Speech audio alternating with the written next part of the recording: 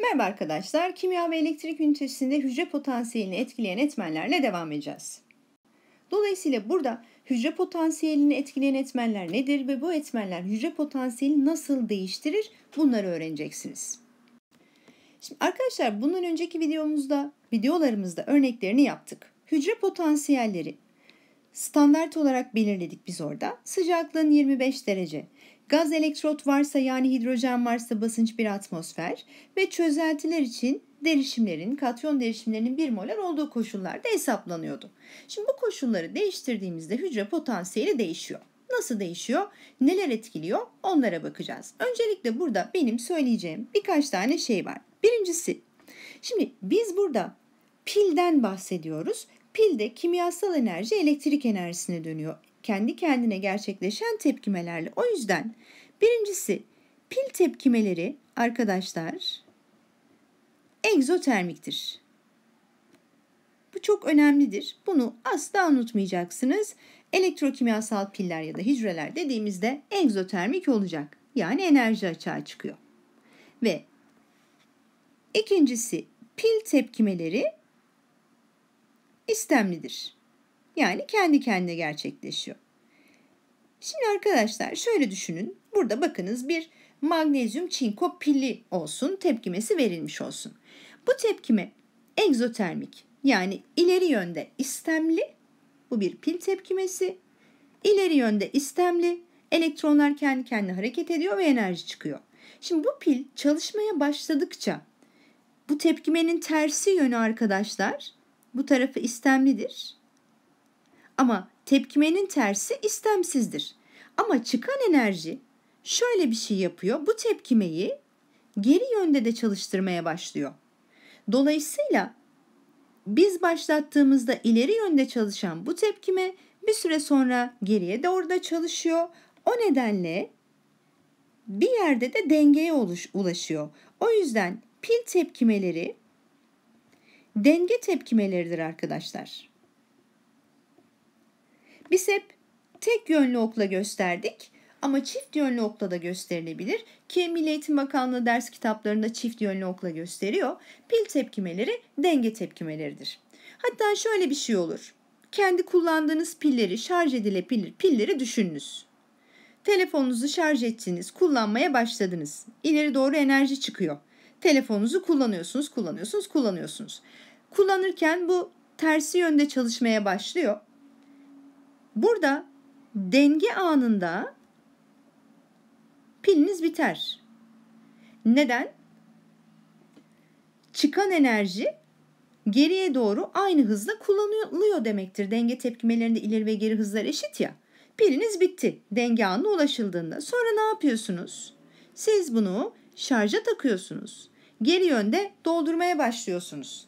Şarj ettikten sonra Tekrar kullanmaya başlıyorsunuz. Yine ileri yönde çalışıyor, enerji açığa çıkıyor. Yine ters yönde tepkime gerçekleşiyor. Yine denge anına geliyor ve pil bitiyor. Yani pil sistemleri denge tepkimeleridir arkadaşlar. Ve sistem dengeye ulaştığında da pil biter. O zaman e, madem pil tepkimeleri denge tepkimeleri dengeyi etkileyen etmenler arkadaşlar Az sonra neler olduğunu hatırlayacağız. Etmenler pil potansiyelini etkiler. Yeni etkiler. Birinci söyleyeceğimiz şey buna da Le prensibine göre bakacağız. İkinci bir söyleyeceğim şey de şudur arkadaşlar. Biz aslında e, pil potansiyelinin açığa çıkan enerjiyi belirttiğini de söylemiştik. Şimdi biz dengeye bir etki yapacağız. Yaptığımız bu etkide denge ürünler lehine bozulursa arkadaşlar yani enerji açığa çıkan yöne bozulursa diyeceğiz ki pil potansiyeli ya da pil gerilimi, hücre potansiyeli her ne diyorsak artar. Yok yapacağımız işlemde denge girenler lehine bozuluyorsa, dengeye girenler lehine bozulursa bu durumda arkadaşlar pil potansiyelinin azaldığını söyleyeceğiz. Ürünlere bozduğumuz her noktada pil potansiyeli artar, girenlere denge bozulduğunda pil potansiyeli azalır. O zaman hücre potansiyelini neler etkiler dersek arkadaşlar 1. Kullanılan elektrotların türü. Çünkü bu elektrotların indirgenme potansiyeller arasındaki farka bakıyorduk. Tür değişirse potansiyel de değişecek. 2. Dengeye etkileyen etmenlerden sıcaklık. 3. Dengeye etkileyen etmenlerden eğer gaz elektrot kullanırsak basınç. Ve yine dengeye etkileyen etmenlerden derişim. Bunlar hücre potansiyelini etkileyen etmenlerimiz ve bunlara bakarken de Chatelier ilkesine göre bakacağız. Hatırlarsanız dengedeki bir sisteme dışarıdan etki yaparsanız sistem bu etkiyi azaltacak yönde hareket ediyordu. Eğer denge ürünler lehine bozulursa hücre potansiyelimiz artıyor olacak. Eğer denge girenler lehine bozuluyor olursa hücre potansiyeli azalıyor olacak. Şimdi bunun dışında sevgili arkadaşlar bunlar hücre potansiyelini etkiliyor. Ama kullandığımız elektrotların kütlesi ya da boyutu hücre potansiyelini etkilemez. Çünkü bunlar katı zaten. Katı olduğu için katıların dengeye bir etkisi yoktu. Ya da sabit derişimde çözeltinin hacmini arttırmak yani çözelti hacmi. Bunlar arkadaşlar hücre potansiyelini etkilemiyor. Çünkü tekrar söyleyeyim katıların denge etkisi yok. Elektrotlarımız katı halde. E, derişimin etkisi var ama derişimin değişmesi lazım. Sabit derişimde hacmini arttırmamız dengeyi etkilemeyecek. Şimdi gelin tek tek bunları inceleyelim. İlk olarak kullanılan elektrotların cinsine bakacağız arkadaşlar nasıl etkiliyor diye. E, bir pilde ya da hücrede Potansiyel anot ve katotta kullanılan elektrotların neyi unutmuşum? Standart potansiyeller arasındaki fark. O zaman tür değiştiğinde fark da değişir. Bakınız burada 3 tane iyonumuzun indirgenme potansiyelleri verilmiş. Eğer biz magnezyum çinko hücresi hazırlarsak pil potansiyeli 1.61 volt olur. Magnezyum bakır pili hazırlarsak pil potansiyeli 2.71 volt olur. Hatta şurada e, birim zamanda açığa çıkan enerji miktarı da daha fazla olur. Yani türler değiştiğinde tabii ki aradaki fark ve hücre potansiyeli de değişiyor. Gelelim sıcaklığın hücre potansiyeline etkisi. Ee, az önce de söyledik pil tepkimeleri gerçekleşirken enerji açığa çıkıyor. Yani pil tepkimelerimiz bizim egzotermik tepkimeler hiçbir istisnası da yok. Ve şunu hatırlayalım ürünler lehine denge bozulursa pil potansiyeli artıyordu. Burada bir kere daha söyleyeyim bundan sonrakilerde söylemeyeyim. Girenler lehine bozulursa da denge pil potansiyeli azalıyordu. Şimdi bakalım sıcaklık etkisine. Pil tepkimemiz bizim egzotermik. Enerji açığa çıkıyor. Hatta buna ısı gibi de söyleyebilirim. Enerjinin farklı farklı türleri var ama burada kimyasal enerji açığa çıkıyor. Şimdi sıcaklığı arttırsak. Sevgili arkadaşlar burada sıcaklığı arttırdığımızda denge girenler lehine bozulur. E, girenler lehine bozulacağı için de hücre potansiyeli ya da hücre gerilimi azalır diyoruz. Ya da tam tersine sıcaklığı azaltırsak sıcaklığı düşürdük. Bu durumda sistem sıcaklığı artırmak isteyecek. Denge ürünler lehine bozulur.